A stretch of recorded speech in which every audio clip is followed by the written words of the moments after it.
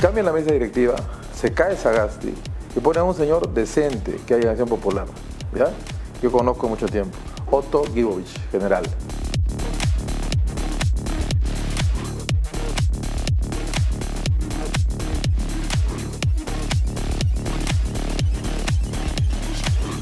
Por eso me ha decepcionado algo hoy día eh, López Aliaga cuando ha salido y ha pedido que caiga Sagasti. Me opongo a que de una forma no democrática con estas artimañas estemos cambiando y desestabilizando el país. Espero que se rectifique eh, Rafael López Aliaga.